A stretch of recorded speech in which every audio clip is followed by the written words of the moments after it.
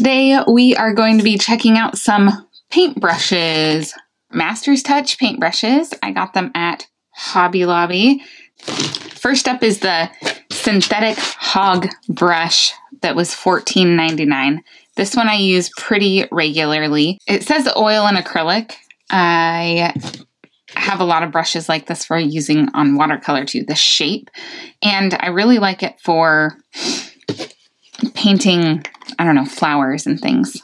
Also, I'm just using this inexpensive Master's Touch acrylic. It is something that I've used before, so I kind of know the consistency of it. I know what it feels like, and so we are just gonna go for it. So I'm using this bigger one in a minute. I will use the smaller version of this to kind of get a comparison. And this is just a cheap canvas that I got at Walmart in like a multi-pack. So we'll see how it goes.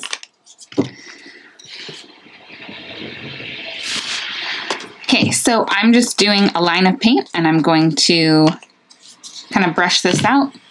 I'm gonna get my brush wet first though.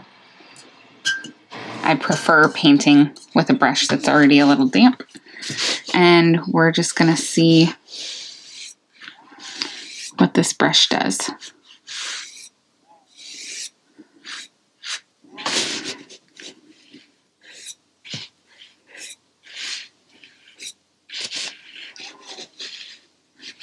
Yeah, okay.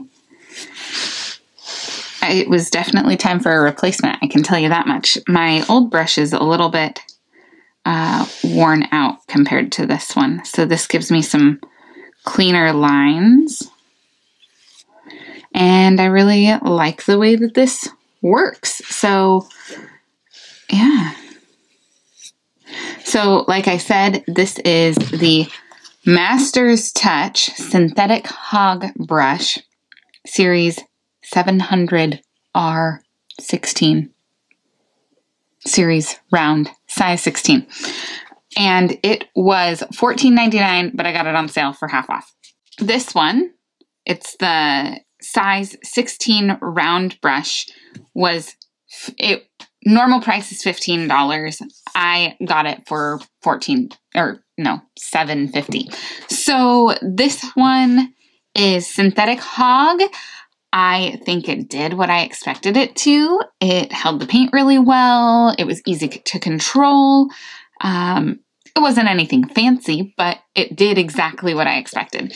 And so I would say that this synthetic hog uh, round brush, size 16, for $15 or for 750 if you can get it on sale would probably be I don't know, probably 4 stars is what I would probably rate it. Um just I think partially because if you have to pay $15 for it, that kind of sucks because I don't like spending money on on things sometimes. But uh, for getting it for 750, I think that's fair. So there you have it. All right. Have a great day. Thanks for watching. Bye.